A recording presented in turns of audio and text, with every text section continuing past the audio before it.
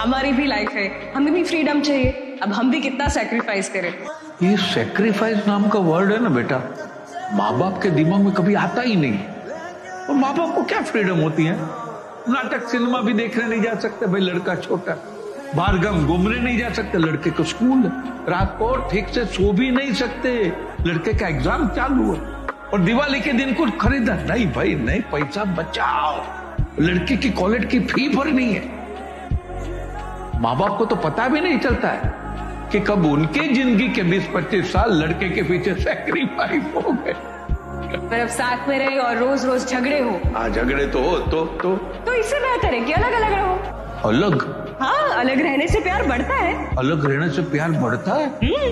तो तो माँ बाप को भी है ना बच्चे पैदा हो तो सीधा अनाथ आश्रम में ही डाल देना चाहिए। अनाथ आश्रम हाँ भाई अलग अलग रहो ना प्यार बढ़ेगा।